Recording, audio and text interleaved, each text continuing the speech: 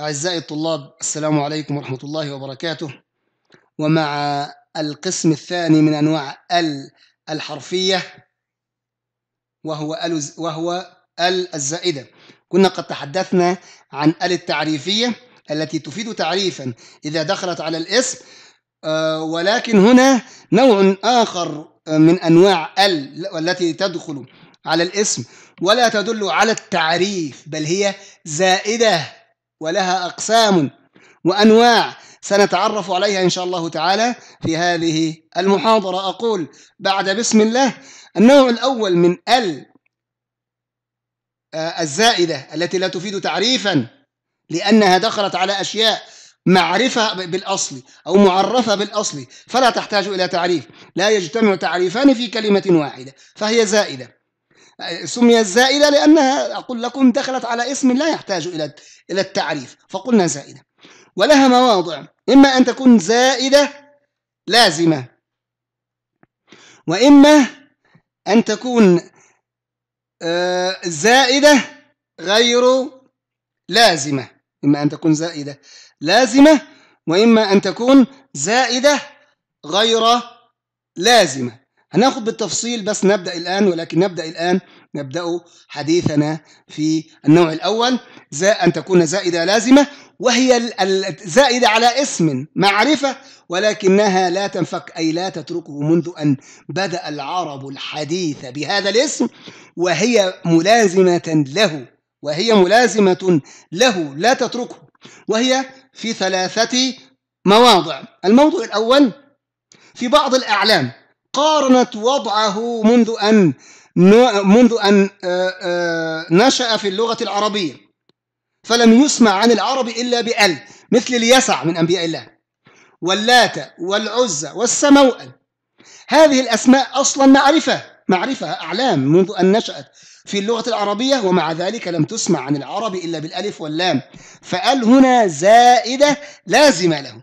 في آه، في بعض الأعلام كقول ووردت في قول الله تعالى أفرأيتم اللات والعزى؟ فكلمة اللات وكلمة العزى كل منهما علم على صنم ودخلت عليه ال ليست للتعريف بل هي زائدة لازمة. لماذا؟ لأنها نشأت مع الاسم منذ أن استخدمه العرب وهي ملازمة له.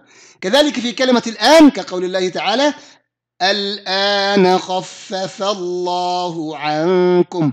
فالآن ظرف لا يحتاج إلى تعريف ولكنه سمع عن العرب هكذا في لغتهم الفصيحة. الموضع الثالث لأل الزائدة اللازمة أي ملازمة للكلمة في بعض الأسماء الموصولة. بعض الموصولات المصدرة بأل نحو الذي والتي واللذان والذين. هذه الأسماء الموصولة آه، خصوصا الخاصة كلها تبدأ تقريبا بأل. والأسماء الموصولة من أنواع المعارف وهي معرفة لا تحتاج إلى تعريف ولكن جاءت ووردت عن العرب هكذا بالألف واللام بأل الزائدة فهي زائدة وليست للتعريف. لماذا زائدة؟ أنها زائدة ملازمة لأنها لازمت الكلمة منذ أن استخدمها العرب الفصحاء في كلامهم. شوف قال هنا زائدة في هذه المواضع الثلاث؟ لأنه لا يجتمع تعريفان على معرف واحد. على معرف واحد. لا يجتمع تعريفان على معرف واحد. وهذه معارف بالعلمية وبالإشارة وبالصلة. فلا تحتاج إلى إيه؟ فلا تحتاج إلى تعريف بأل. هناك نوع ثاني من أنواع أل الزائدة وهي الزائدة غير اللازمة. يعني إيه؟ ليست في كل ليست ملازمة للكلمة في كل حالاتها. وهي ضربان أو نوعان. النوع الأول اضطراري ويكون لا يكون إلا في الشعر. للضرورة لكي لا ينكسر وزن البيت الشعري. نقول عليها الضرورة الشعرية. أدخل ألف واللام على كلمات معرفة أو على كلمات الأصل فيها أن تكون نكرة بدون تعريف. لماذا؟ حفاظا على البيت على وزن البيت الشعري. آه، كقول الشاعر ولقد جنيتك أكمؤا وعساقلا ولقد نهيتك عن بنات الأوبر. ولقد جنيتك أكمؤا وعساقلا ولقد نهيتك عن بنات الأوبر. أصل الكلمة بنات أوبر وهي نوع من أنواع الكمئة من, من أنواع الكمئة رديء فأدخل الشاعر أل هنا في علم بنات أوبر اسم من أسماء. الكمأة مضطرا للضرورة الشعرية نوع من أنواع الكمئة رديء وليست معرفة لأن بنات أوبر علم على نوع معين من أنواع ماذا؟ من أنواع الكمأة وكذلك من الزائد للضرورة الشعرية وهي غير لازمة زائدة غير لازمة للضرورة الشعرية قول الشاعر رأيتك لما أن عرفت وجوهنا صددت وطبت النفس يا قيس عن عمري وطبت النفس. طبت النفس أصل الكلمة طبت نفسا فهي تمييز. والتمييز لا يكون معرفا فأدخل ال زائدة هنا فزاد الشاعر ال.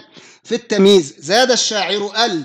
في التمييز كلمة النفس مضطرا اضطرارا ضرورة شعرية لا يقاس عليها وعلى سابقتها في بنات أوبر. وقال هنا ليست ما ليست معرفة لأن التمييز لا يكون إلا نكرة عند الرأي الراجح عندنا. فقال هنا الزائدة غير لازمة في موضعين الموضع الأول للضرورة الشعرية كما ذكرنا والموضع الثاني من الز... من ال الزائدة غير اللازمة وهو ضرب اختياري يلجأ إليه الشاعر وغيره. لغرض يريد أن يحققه سواء كان في الشعر أو غير الشعر خلي بالك. هنا شاعر أو غير شاعر يعني شعرا أو نثرا. أما النوع الأول ضرورة شعرية لا يكون إلا في الشعر. هنا تكون ال زائدة نسميها للمح الأصلي وتحدثنا عنه قبل ذلك سريعا في بعض مواضع النحو السابقة. تكون ال زائدة في الشعر أو في النثر لا ليست للتعريف بل هي للمح الأصل أي وتعريفها أو توضيحها. هي ال الداخلة على بعض الأعلام المنقولة من اسم فاعل من اسم مفعول إلى من صفة مشبهة من صيغة مبالغة إلى غير ذلك. مما يصلح عليه ال يعني كان في الأصل قبل أن يكون علما كان يصلح أن تدخل عليه ال لتدل على التعريف. كان وصفا يدخل عليه ال لا مانع في ذلك. والمراد بها الآن عندما تحول هذا الوصف إلى علم أن للمح الأصل أو للمح المعنى الأصلي الذي نقل منه العلم. ليكون هناك صلة ليكون هناك صلة معذرة ليكون هناك صلة بين المعنى القديم والمعنى الجديد. وذلك أن أكثر الأعلام منقولة عن معنى سابق كان يؤديه قبل العالمية. مثل كلمة منصور مثلا أقول أنت منصور في موقفك. منصور هنا ليست علم هي وصف. تتمنى أن ينصره الله. ثم أخذت كلمة منصور هذه وسمي بها شخص. في هذه الحالة يجوز أن تقول المنصور كما نقول أبو جعفر المنصور. بزيادة ماذا؟ الألف واللام وليست للتعريف بل هي زائدة للمح الأصل لتشير إن كلمة منصور مشتقة كانت من المشتقات وليست علما في الأصل في أصلها. وكذلك حارث تقول فيها الحارث. فتيمنا بأن هذا بأن المنصور ينصر وأن الحارث يقبل يكبر ويصير إيه؟ حارثا للأرض وحارثا لايه في الأرض ويعني إيه؟ ويكثر منه الخير. وكذلك حسن فقل أنت حسن وجهك. حسن هي صفة مشبهة. يجوز أن تقول الحسن إذا سمي به إيه؟